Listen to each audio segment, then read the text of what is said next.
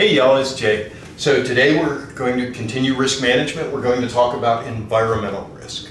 And environmental risk is, we talked last week about personal risk, which are things that are intrinsic to you that cause you a risk in your game.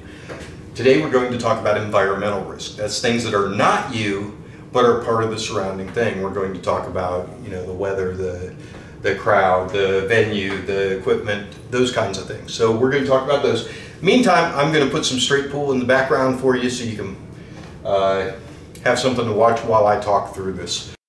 So when we're talking about environmental risk, there are many things that you can't control. Uh, and there are some that you can. And, and risk is more about being aware of the risk uh, and being aware of how it affects your game. So there are a lot of things that we can't control. For example, um, in the snooker, I think it was in the World Masters one year, uh, they had wasps attacking the players in the venue. Uh, now, I'm sure that nobody ever expected to have to play snooker while being attacked by wasps. Um, you just can't control things like that. So when we're talking about the environment, we're talking about things like uh, the weather. Uh, so temperature and humidity specifically. So the temperature affects you as a person. If you're hot, if it's hot enough in the venue that you're sweating, uh, then you're going to play pool less at a lesser level than you will if the, the temperature is ideal, simply because you're uncomfortable. Uh, likewise, if it's extremely cold in the venue, uh, you will play pool less. At, you'll you'll play less well because you're cold, not just because you're uncomfortable, but also because maybe your muscles are shivering. And so your stroke isn't as pure. You can't feel your stroke the way you normally would. Um, so what can you do about those? Well, about it being hot, you can, I mean, the answer to both of those is dress appropriately. Uh, if it's hot, then you want to wear something lighter, maybe moisture wicking.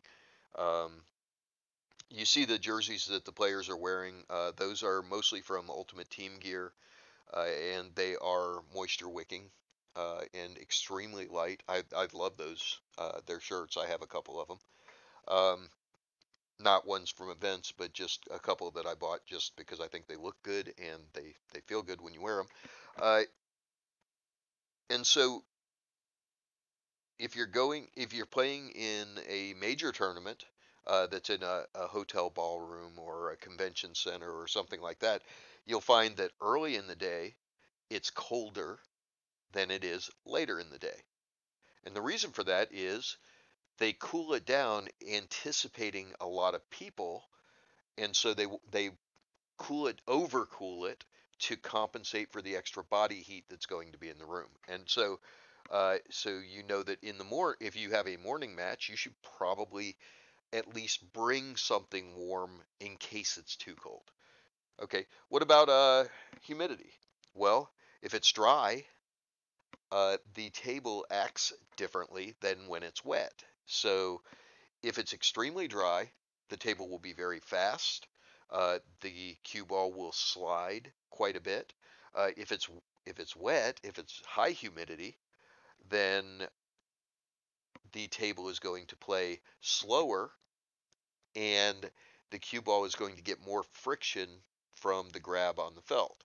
Um, and so you need to uh, think about those things. And you also need to think, like in the example before with the temperature, if you're playing in a convention center, in the morning it's going to be very dry because they will have been running the air conditioner all night long, getting it down to a temperature to compensate for body heat.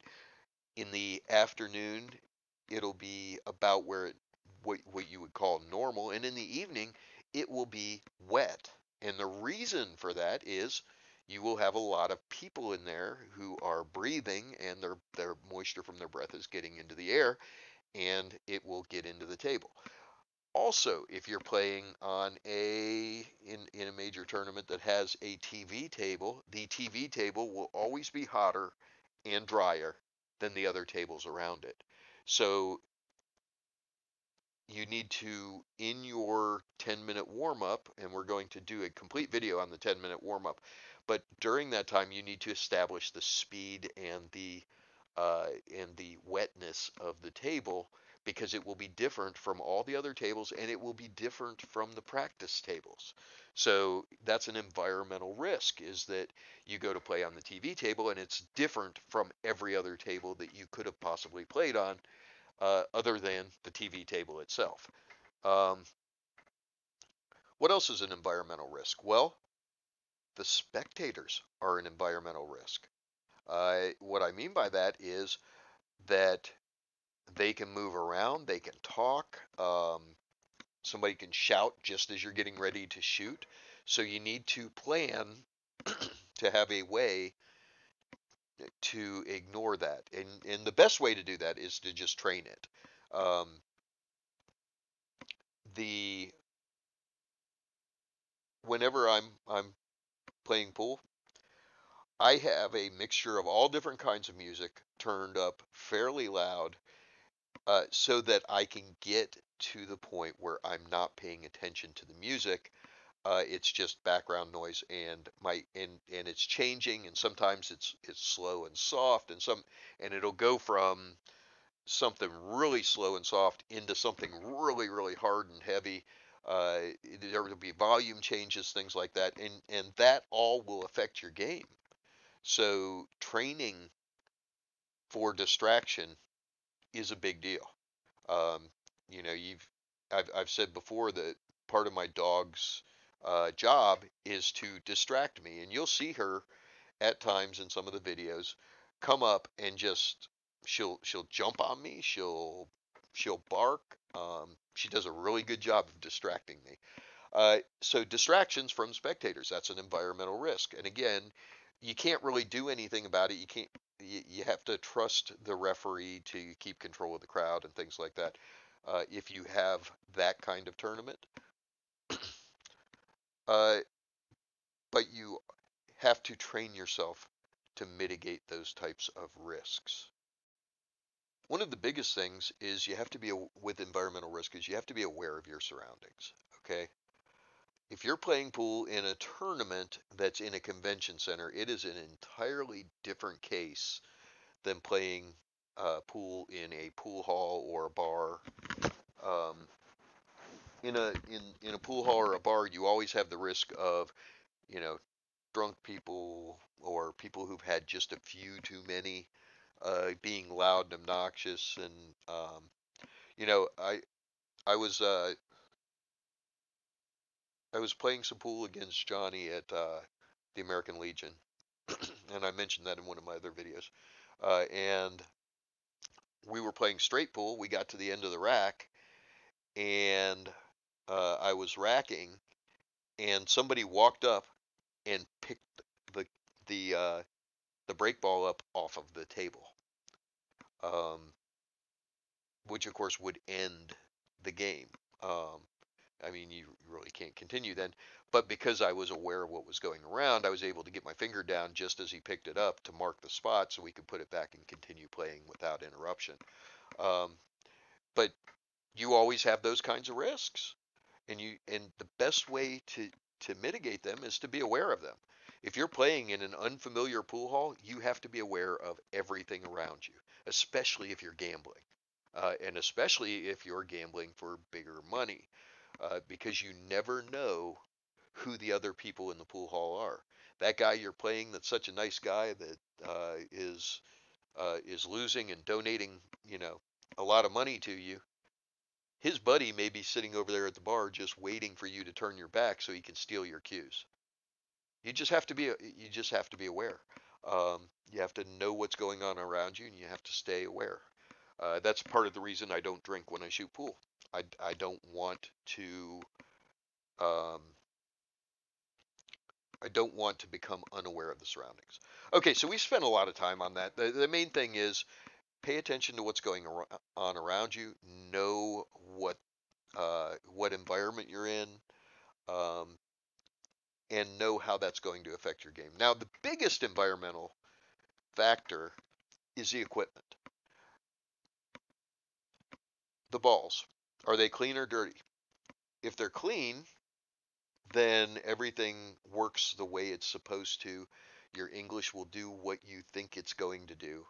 Um, but if they're dirty, that makes the cue ball cling just a little bit longer to the ball. That changes the shot angle for making the ball. That changes how the cue ball will react after the hit. Um, so you have to be aware of those things. Um, and it can be deceptive. You can have a cue ball that has a, a, a bunch of blue dots from contact, and that cue ball is actually clean because those dots are stains, not surface dust. Uh, the best way to, to deal with that is bring a, a microfiber towel with you, uh, micro, microfiber cloth, and wipe off the cue ball and see if the dots come off. If they do, it was dirt. Uh, if you are, if the balls are actually sticky, which I've seen in some bars, um, it makes it actually possible to make shots that you can't make normally. Um, it also uh, allows you to throw the ball a lot further if you need to use spin to to throw the object ball, uh, or two balls that are frozen to throw them into a pocket. You can do a whole lot more if it's sticky than you can when they're clean. Uh, but it also adds an element of unpredictability to it. What about the tables? Uh, so different manufacturers of tables have different specifications. We all know that. Okay, let's take gold crowns and diamonds for example. Uh, so my table's a, a gold crown, and uh, so on a gold crown they use super speed rails, which are uh, super speed rails are they play longer than the Artemis rails that are used on diamond tables. So a diamond table plays shorter than a gold crown does. But if you were to come in with that assumption on my table, you'd be wrong because I have Artemis rails on my table, which by the way I'm going to get rid of because I don't like the job the guy did in installing them. Um, so uh, the table is going to the the cue ball is going to act differently off the rail on a diamond than it does on a gold crown, which is going to be completely different from how it acts on a on an Olhausen. Another factor to be aware of is that on diamond tables, the uh, the pocket facings or the, the inside of the, the pocket, the, the area uh, with the short rail just outside the pocket that helps the ball into the pocket. On a diamond, those are parallel, which means that the opening where the points are is the same as the opening of the throat. So if you have four inch pockets, or let's say four and a half inch pockets, um, on a diamond, it's four and a half inches wide between the points of the pocket, and it's also four and a half inches wide at what they call the throat, which is where the actual uh, drop off is. On a gold crown, the pockets are at a 51 degree angle. So what that means effectively is that if the if it's four and a half inches wide at the point, which is where it's measured, if it's four and a half inches wide at the point, it is less than four and a half inches at the throat. It's actually pretty close. It, it's actually below four inches at the at the uh, throat. So what that means is that uh, the that means that trying to shoot straight into the pocket on a gold crown is actually a little bit easier than it is on a diamond. And the reason is because of those angles. So because the angle on the gold crown is uh, is wider than parallel, it means that the pockets help the ball in when they're coming in from the center of the table and it means that coming down the rail, it's actually harder because the pockets are going to kick the ball out. Now, diamond compensates for that by having a deeper shelf. So on a diamond, the distance from the points to the throat is two inches. And on a gold crown, it's one inch. So effectively, it means that if you're shooting on a, if you're making a decision on whether to shoot a shot that's down the rail that has a fairly decent position uh, versus shooting a shot that's in the center of the table that has similar position.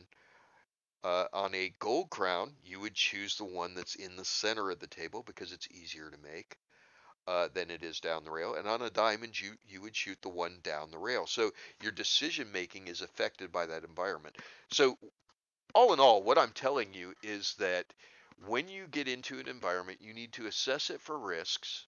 You need to assess the conditions, and then you need to take whatever steps are necessary to mitigate those risks. So when I talk environmental risk, that's what I'm talking about. All right, so next time we're going to get into shot risks. We're going to take those a lot more in depth. We're going to talk about them specifically on each shot and how to deal with them.